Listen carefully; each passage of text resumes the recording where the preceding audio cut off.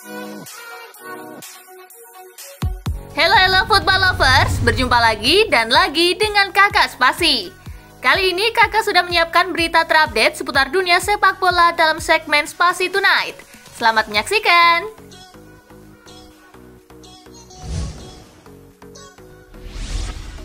Here we go, Chelsea tikung Arsenal untuk transfer Mikhailo Mudrik. Asa Arsenal untuk mendatangkan jasa Mikhailo Mudrik dipastikan buyar. Fabrizio Romano melaporkan Chelsea sudah mengunci transfer sang winger muda. The Blues Real keluar uang dalam jumlah besar untuk merekrut Mudrik. Mereka membayar sekitar 100 juta euro untuk transfer sang pemain. Romano juga melaporkan bahwa Mudrik saat ini sudah bertolak ke Inggris. Ia akan tiba di London beberapa jam lagi. Ia dijadwalkan menjalani tes medis di Chelsea pada hari ini. Sang winger diberi kontrak berdurasi 7 tahun dan akan membela Chelsea hingga tahun 2030 nanti.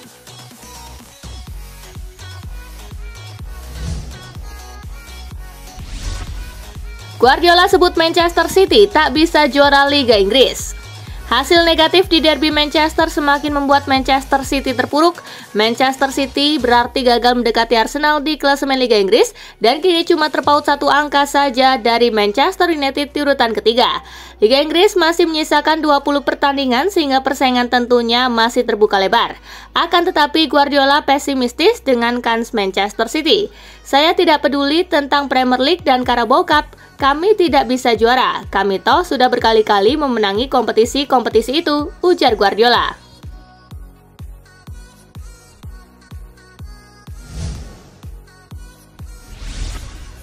Tega tapi jitu, Erik Ten Hag paksa Marcus Rashford main sambil menahan rasa sakit.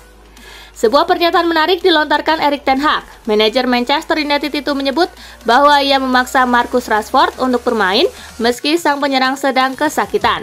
Keputusan Ten Hag tidak menarik Rashford itu terbukti jitu karena Rashford menjadi pahlawan kemenangan MU di mana ia mencetak gol kemenangan setan merah di laga ini. Dia harus merasakan menderita di level tertinggi untuk bisa memenangkan pertandingan dan trofi juara.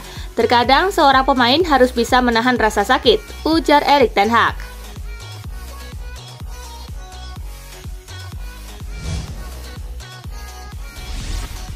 Penampilan terburuk Liverpool dalam karir Klopp Liverpool kalah telak 0-3 di markas Brighton. Manajer Liverpool Jurgen Klopp tak ragu mengecam penampilan timnya sendiri. Hasil ini menandai kekalahan kedua beruntun Liverpool di Premier League usai dipermalukan Brentford di awal tahun. Liverpool kini melorot ke peringkat 9 klasemen dengan perolehan 28 poin. Jurgen Klopp tampak frustasi dengan kekalahan si merah. Klopp meyakini Liverpool baru saja menunjukkan performa terburuk semasa kepelatihannya. Sangat buruk, saya tidak bisa ingat sebuah pertandingan yang lebih buruk dari ini, ujar Klopp.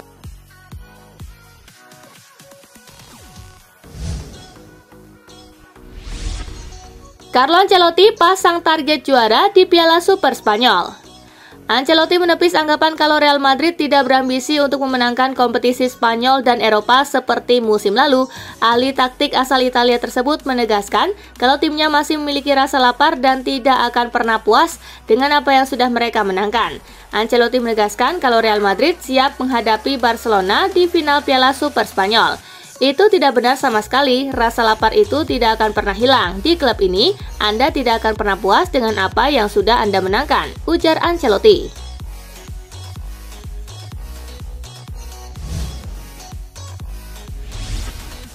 Karim Benzema juga bahas timnas Prancis lagi. Dalam jumpa pers jelang final Piala Super Spanyol melawan Barcelona, Benzema malah dimintai pendapat mengenai hubungannya dengan Les Blues. Penyerang kelahiran Lyon itu diketahui memang belum pernah mengeluarkan unek-uneknya soal ini. Namun ia menegaskan ia hadir bukan untuk memenuhi rasa penasaran orang-orang terkait masalah pribadinya, ia hanya mau bicara soal pertandingan melawan Barcelona. Ia enggan membahas kisruh yang terjadi antara dirinya dengan timnas Prancis selama Piala Dunia 2022. Baginya itu sudah masa lalu yang tak perlu diungkit-ungkit lagi.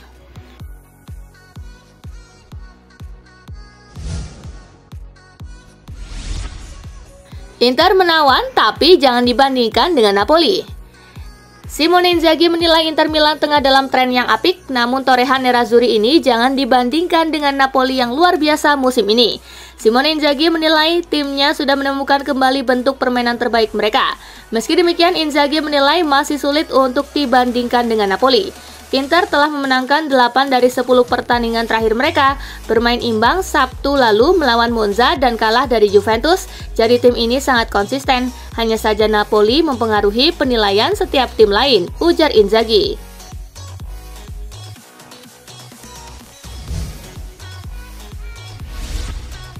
AC Milan telan rentetan hasil negatif, begini analisis Pioli. Manajer AC Milan Stefano Pioli membeberkan penyebab penampilan buruk timnya belakangan ini. Ia menyebut bahwa timnya memiliki mindset yang keliru saat menjalani sebuah pertandingan. Kepada Dasen, Pioli mengakui bahwa timnya memiliki pendekatan yang keliru di tiga pertandingan terakhir. Ia menyebut timnya tidak bisa menyeimbangkan antara rasa santai dan berhati-hati di sebuah pertandingan sehingga mereka menelan rentetan hasil negatif. Pioli berjanji tidak akan membiarkan situasi ini berlarut-larut. Ia menegaskan akan segera mengupayakan agar Rossoneri lekas bangkit dari keterpurukan ini.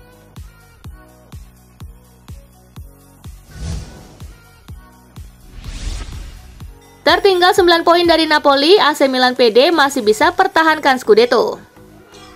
Gelandang AC Milan Ismail Benacer menegaskan bahwa timnya masih belum melempar handuk dalam perburuan gelar Scudetto musim ini. Ia yakin Rossoneri masih sanggup untuk mengejar ketertinggalan dari Napoli. Benacer tahu bahwa selisih poin antara timnya dan Napoli saat ini membesar akibat hasil imbang melawan Lecce. Namun ia optimistis timnya bisa menyalip perolehan poin itu di akhir musim nanti. Kami masih percaya bahwa kami bisa meraih Scudetto dan kami akan berjuang hingga akhir. Kami harus menganalisis apa saja yang salah di tim kami dan mencoba untuk memperbaikinya, kata Benacer.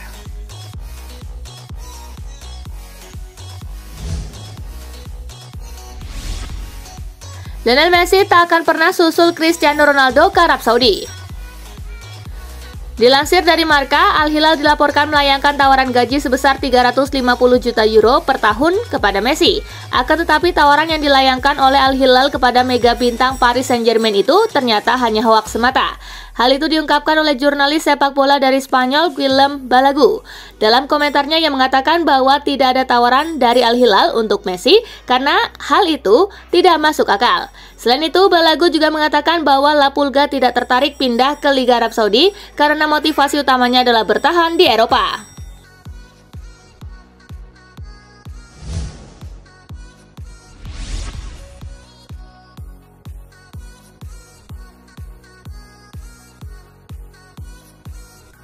Nah itulah berita sepak bola terupdate dalam segmen Spasi Tonight kali ini gengs.